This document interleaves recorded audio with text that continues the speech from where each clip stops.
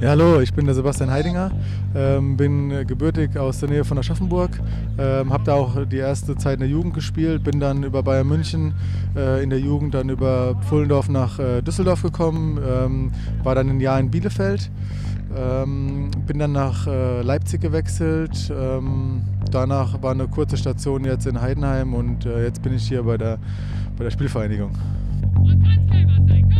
Ja, meine Position ist jetzt äh, rechter Verteidiger. Ähm, habe früher eigentlich mehr offensiv gespielt. Somit äh, interpretiere ich äh, diese, diese ähm, Position auch ein bisschen anders, ein bisschen, ein bisschen offensiver.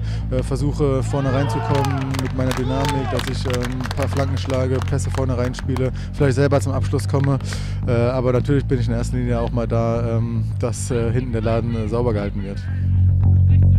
Ja, von der Stadt hier habe ich noch nicht ganz so viel gesehen, da ich ja noch im Hotel lebe und ähm, äh, noch nicht so viel Zeit hatte, zwischen den Trainingseinheiten mal in die Stadt zu gehen. Aber was ich bisher gesehen habe, hat mir sehr gut gefallen. Ähm, ich freue mich aber schon auch drauf, äh, werde jetzt auch hier in Fürth eine, eine Wohnung beziehen und äh, freue mich schon drauf, das äh, bald mehr zu sehen.